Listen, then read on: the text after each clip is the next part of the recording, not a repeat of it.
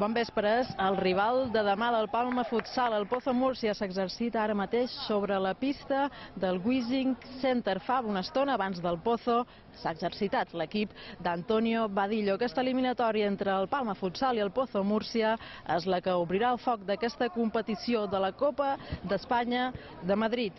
I aquest que veus és l'equip que demà vol mirar d'aconseguir el repte, superar per primera vegada la barrera dels quarts de final de la Copa d'Espanya. Antonio Badillo té a tot l'equip disponible. Aquesta eliminatòria certament és l'autèntic malefici d'un equip que és veritat que no arriba ara mateix en el seu millor moment a la competició per a la Copa.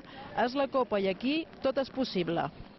Tenemos que disfrutar y se disfruta compitiendo al máximo nivel, dándolo todo, entregándote a la causa y hay que disfrutar. En la vida todo lo que se hace bien es disfrutando.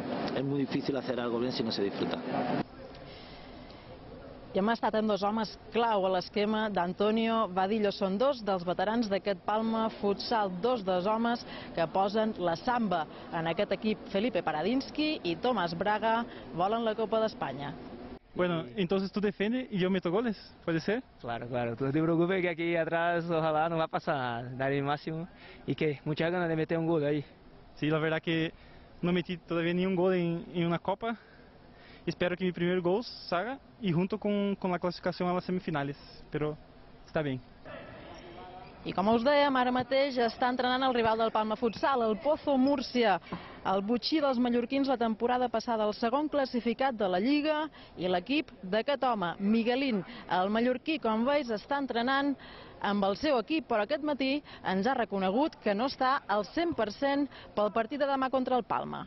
El entrenamiento de hoy y mañana dirá un poco las sensaciones, el tiempo que puedo jugar y, y yo son ganas de jugar mañana, evidentemente, por, por todo lo que significa. Palma i Pozo obriran el foc de la competició demà. L'equip mallorquí té uns encreuaments realment complicats. Si aconsegueix el somiat bitllet a semifinals, el seu rival sortiria de l'eliminatòria entre el Movistar Inter i Osasuna Magna. A l'altre costat del quadre, el Barça s'enfronta al Saragossa i el Cartagena i el Jaén disputaran l'altra eliminatòria. Són els 8 millors equips de la Lliga Espanyola que a partir de demà es disputaran la Copa d'Espanya de Futbol Sala en aquest escenari autènticament espectacular, el Wishing Center. Aquesta temporada la competició ha agafat una dimensió diferent. Hi ha més de 200 periodistes acreditats i s'espera que demà gairebé 10.000 persones visquin el partit. Ja veurem si veuen com el Palma Futsal aconsegueix passar semifinals per primera vegada a la seva història.